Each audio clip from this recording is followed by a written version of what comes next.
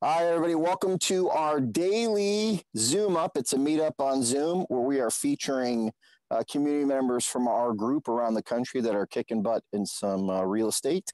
Uh, the nice thing about this call is you're going to find some average people doing above average stuff with us, but it doesn't mean that everybody does that well. So uh, you know, you're going to hear some success today. I know that for sure because I sent out the text and this man just uh, wire transferred a million bucks for five properties. So he's awesome. But I love his story and um, and he's going to tell it. Uh, but again, if for some reason you're on the line here, not every real estate deal goes well. I've known plenty of people who've lost money on real estate, and usually it's because they didn't know enough and they took action without knowing enough. So uh, one of the keys to uh, working with a good group is making sure that you know what you're doing and who you're doing it with. And uh, this man has learned those lessons to the point he's doing very well. So please help me welcome uh, to the uh, to the call today, Mr. Daine Clark. What's up, guys? Thank you What's so up, much. I'm, I'm doing so good, man. How about yourself? If I was any better, it'd probably be you right now. You right now. you look like it's uh, nice and warm where you're at. It's like 30 degrees outside, so I need I need to come where you at, bro. But, uh, but yeah, is it cold there? Uh, it's 55. Oh, okay, colder than here. Colder than here. But, uh, but yeah, thank you guys for for having me on today. Um, just uh, to share a little bit about my story. Um, I met this community five years ago and a week I think I just hit my my five year and one week uh, anniversary, and to to put it into a little bit of perspective, and and and like like Scotty said, average people. I like that. Thanks, man. I, am gonna take that. Uh, I'll put that on like a bumper sticker or something. Like I am average.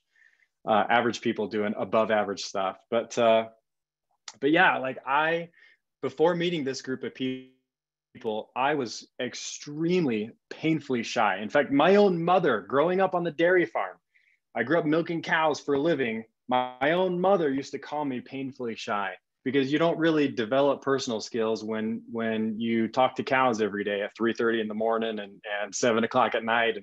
Anyway, and so um, when I first met this group and I decided I want I want to become a real estate investor, my wife was six months pregnant with our first little boy and and I remember thinking like, if if all I could do, if all I could do you're working was do even a fraction of what these guys are doing, and, right. and maybe so that's why it's good and, and maybe sorry, let me put somebody on mute here. Uh, and, and maybe if I could follow what these guys are doing and do one deal a year, that was my goal. My mindset, my mindset was that big that if I could do one deal a year, every single year for the next 5, 10, 15, maybe 20 years, that that maybe I'd be able to retire off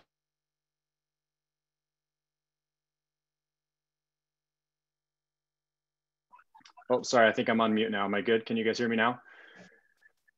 Um, anyway, I'm not sure what I'm not sure what we missed there, but uh, but anyway, my goal was to do one deal a year for however many years it took, and and after meeting this group and surrounding myself with a bunch of people that were doing some amazing things. I mean, I saw people buying houses and fixing them up and turn them, turning around and selling them for $100,000 more. I, I saw people picking up properties using other people's mortgages, buying properties, nothing, nothing out of their pocket and just thinking like, oh my gosh, like I think, I think more than a deal a year would be possible. And, and it took me, oh, let's see, it took me about three years to do my first 10 real estate deals.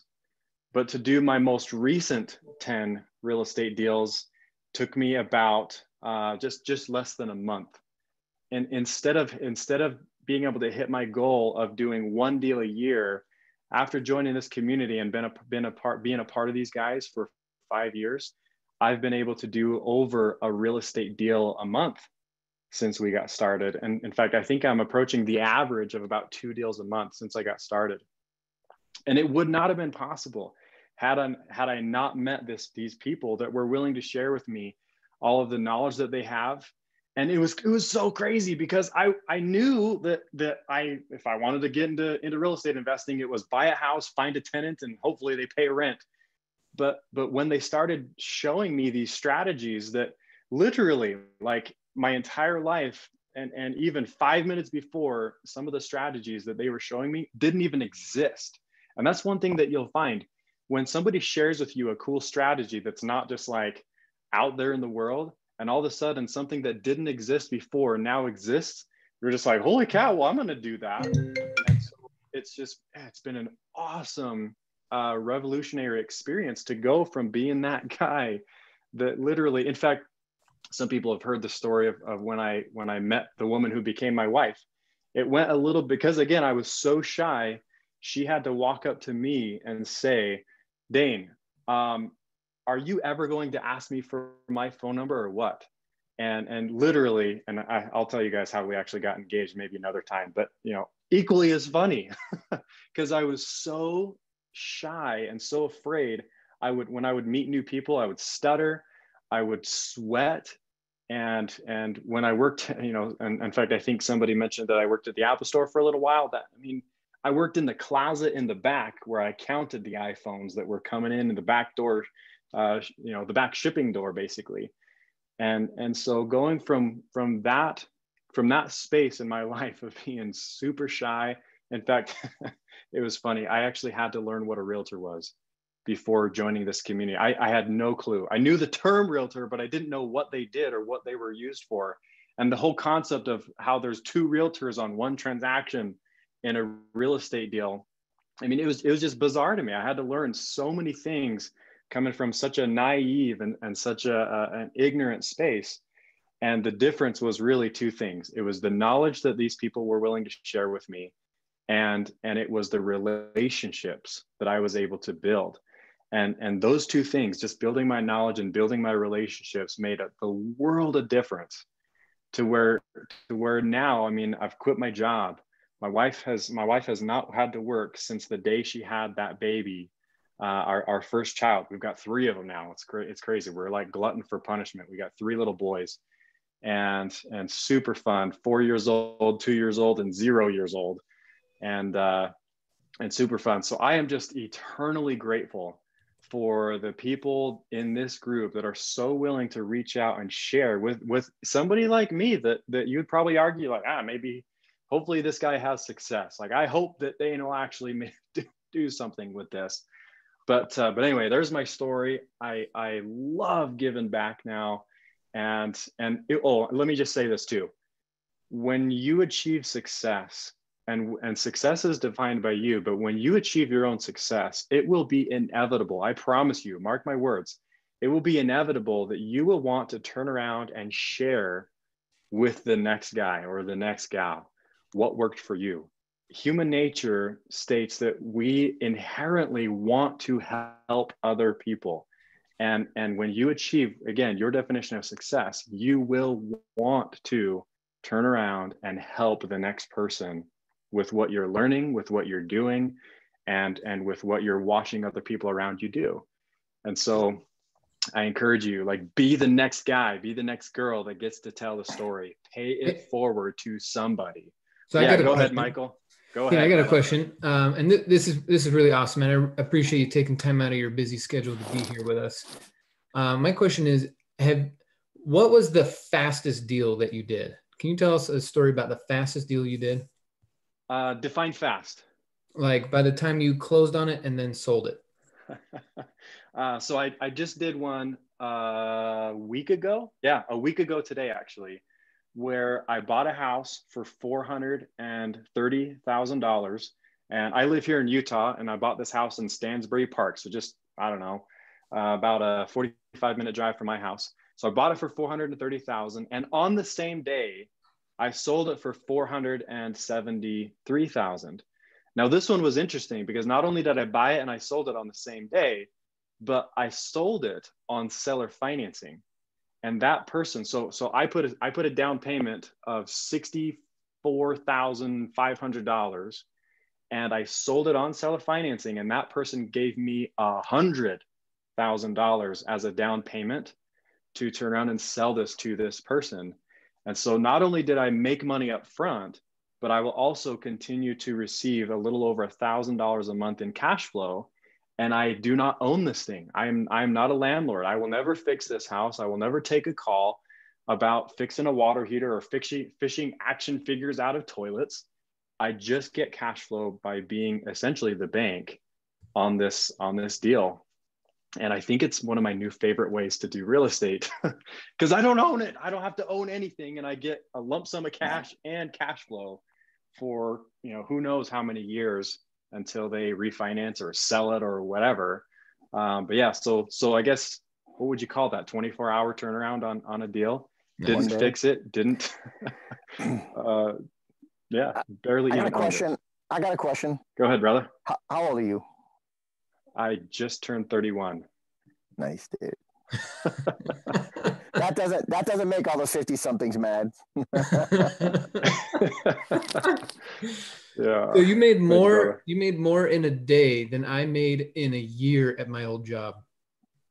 That is pretty yeah. awesome, man. Good job. I, yeah, I just did the same actually. I used the most I ever made at my day job was thirteen dollars and fifty cents an hour, and that's when I thought I was doing pretty good mm. in my roofing job and, and working at Apple. I've never had a job that paid more than that until I owned real estate, I guess you could say. And the nice thing about real estate is that even though I picked up this house and picked up this cash flow, it doesn't mean I have to work harder. I work like 30 hours a week right now. Monday through Thursday, I work 30 hours a week. I give my wife a, a Friday, Saturday, Sunday weekend every single week. And, and we like to travel a ton. And so every time I pick up another real estate, it's just like I don't have to work harder. I just increase my dollars per hour basically.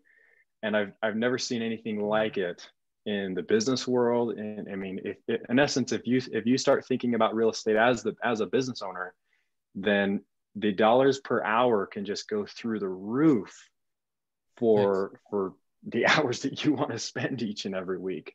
Right. Um, we, we have 115 people here live right now, which is amazing. Uh, will you tell us the story about your very first deal when you were that shy guy, still not knowing what the heck was going on? tell us about that deal. Yeah. So, in, in brief, um, you go from credibility, I call it going from credibility zero to credibility 0.1 and and i remember being in a space thinking like oh well i've never done anything. I've never closed it. I mean i had never even bought a house in my life or even my family. And so i remember thinking like how in the world is wait, this going to work? So hold on hold on you bought your first house without owning a house yeah you did I, your first I, real I estate think, deal okay this is important for people to hear you did your first real estate deal and you didn't even own your own house yet yeah i think okay. uh, i think we bought three homes we bought three homes before I ever bought a wife or bought a wife before I ever bought a house for my wife. um, and then the, Both, and then I got a mail order she lets bride. you live in no, the same house. So. no, just kidding. Let's, um, Let's yeah, talk about we, that first deal. First deal. Yeah, so first deal, credibility zero. I had no money. I was still roofing, making thirteen dollars and fifty cents an hour, and and it was interesting because being a shy guy, and I I have to say this part, but being a guy, I remember like, all right, I've learned all these things. Where's the deals? and I had a rude awakening that I knew I had to now learn how to have a, a conversation with people. And if you learn how to have a very structured conversation, it, it doesn't feel like you're meeting people and it's it doesn't feel scary. It's just like, oh, when I meet somebody, I just need to ask them these questions. And so I did that with two people. I, I met a gentleman and I asked him a bunch of questions and we started talking about real estate investing and all of a sudden he's like, dude, you should buy my property. It's for sale. And I was like, oh, well, I mean, for sale doesn't mean it's a deal. And so I asked him all these questions that, again, I was trained to ask these questions. And so there I was asking these questions, and I, I find out that this gentleman is in trouble. And then, literally, within a few days, I, I chat with another gentleman because I'm just going through some of the challenges that, that this community has for people that are new. And, and they're like, like, hey, like when you're when you're new try to have a conversation a day about real estate investing with people. And so i'm just following the i'm following the challenge have a conversation per day with with people.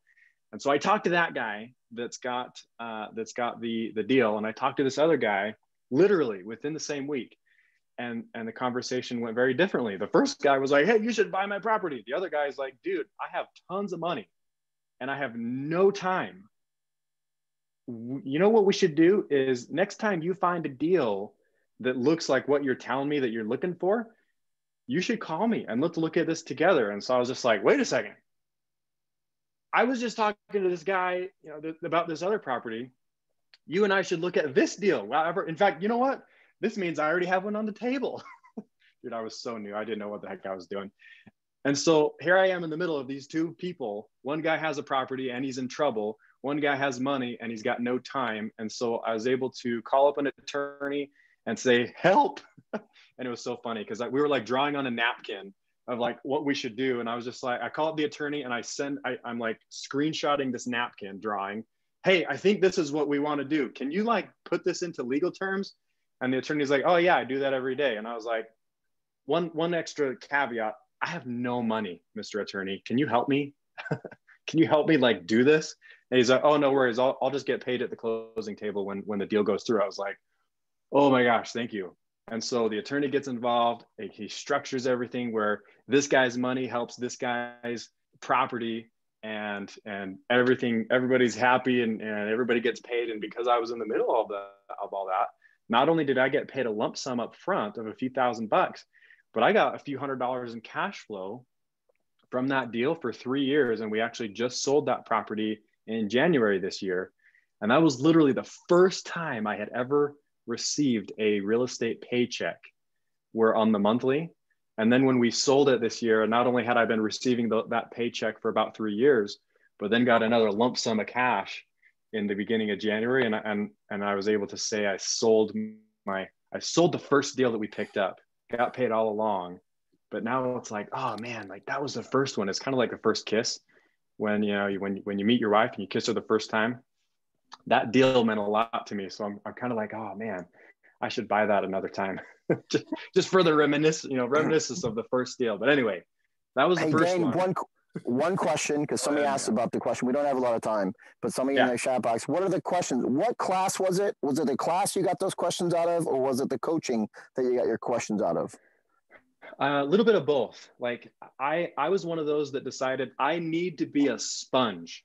If I'm gonna, if I'm gonna have success, I have to be a sponge. And so, so a lot of the questions that I'll ask people came from multiple people. If if you want a specific one that probably gave me the most, um, look up Jay Massey. He's he's Jay Massey is one of the investors that's in our group that that just, I mean, this dude has closed millions of dollars in deals, and he shares yeah. a lot of his questions. He's got a okay so that is a class. So jay massey does have a class inside of our group. So you want to make sure if you if you're hearing this and you're interested in those questions you're like okay and now i've heard jay massey get back in touch with the person who invited you and then say hey uh, how did daine got this jay massey class. How do i get it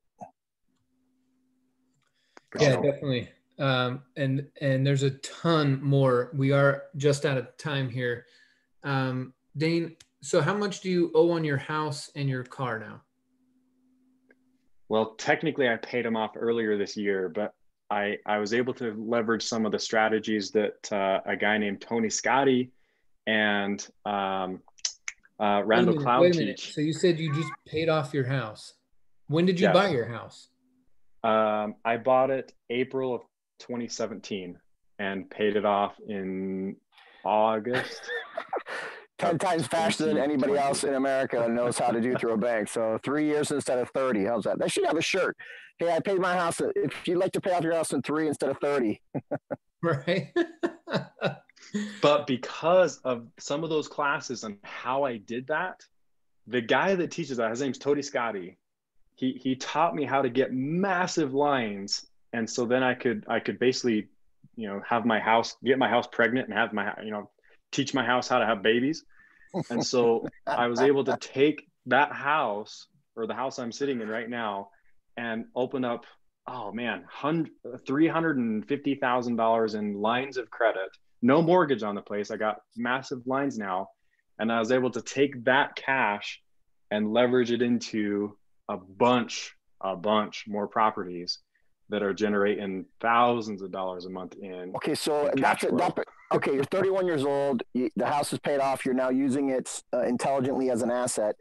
How many properties do you have cash flow into you right now at 31? Oh, I don't know, 20, 20 something. All right, maybe maybe 30. It's good to. I, I, I might have been. I, I might have just at 30. I'll have to check the books. Lovey, can you grab the books and see how many houses we're making money on right now? That'd be great. I mean, we awesome. bought three today already, so whatever it was last Friday and and the three today.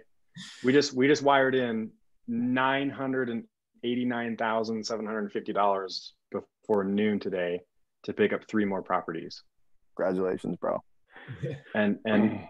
Only like this much of that was my own money. I th- I think I only wired in like ten thousand dollars, maybe less. That's great. The rest of that was using other people's money.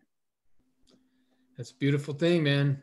All right, so I've heard a couple names: Tony Scotty, Jeremy, Jeremy, uh, Jermaine, uh, Jermaine, Ma- Jay Massey, uh, Tony Scotty, and uh, Randall Cloud are people that you need to learn from because this guy's using what they taught. yeah. Yeah, absolutely, man. Daine, thank you so much for coming out here and sharing your story. Uh, Pleasure, brother. Huge inspiration, and uh, the way that you're also helping a ton of other people in our community. Uh, that's what that's what this is all about. So, folks, if if you are catching this live, there are some calls and strategy sessions you should be getting on with the folks that got you here to figure out how you can start benefiting from our community and what we have to offer. And uh, if you're catching the recording, there are another series of videos for you to watch to learn more behind the scenes, what Daine went through, his transformation, the same thing we're all going through. Or just ask the person who invited you to the recording to get you to the exposure so you can figure out how you can start. There you go. Straightforward.